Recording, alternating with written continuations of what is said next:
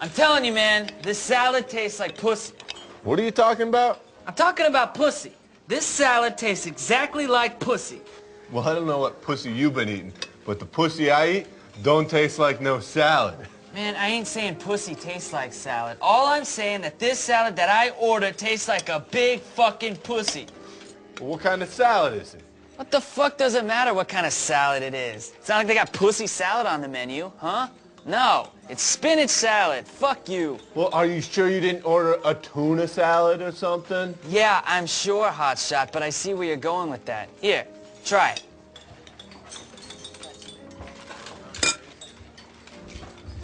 Well, I'll be a shit-covered dick. This salad right here tastes exactly like a big fucking pussy. Okay, hello, hi. Um, I'm sorry to interrupt you, but I'm having dinner here with my wife and my very, very young child. Well, I'm sorry, sir, and I don't mean to offend you and your family. But the thing is that we ordered this salad here, and it tastes exactly like a big sloppy pussy. Well, I really doubt that that's true, so. It is. It's true. Here, try it. Try it. Come on.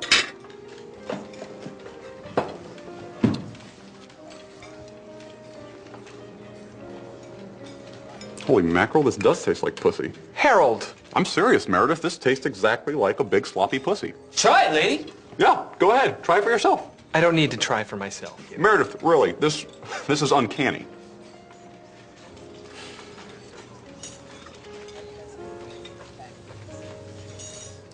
Well, That tastes a bit like pussy.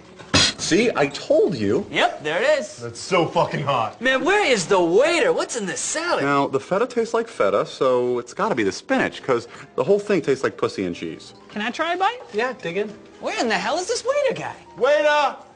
This salad doesn't taste like pussy.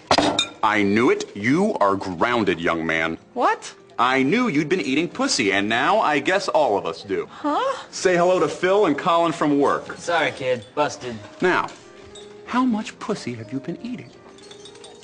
I don't know. And where have you been eating this pussy? I don't know. Where? School? The park? Kyle's house? Sometimes Kyle's house. Well, you can say goodbye to Kyle's house.